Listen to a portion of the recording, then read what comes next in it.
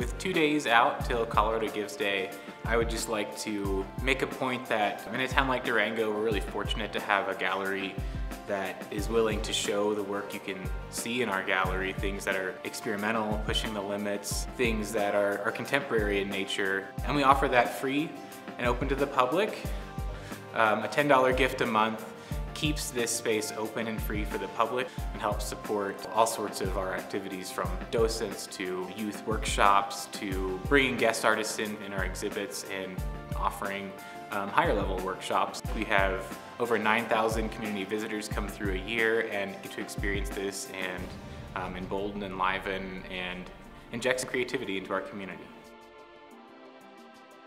think the most interesting thing, the most intriguing thing, and the most valuable thing about this gallery is the variety. We do have everything from plein air painting competitions to a video exhibit and everything in between. Um, and I think through changing our shows that regularly and uh, exploring all of these different mediums, hopefully uh, we are reaching every artist community in, in our area.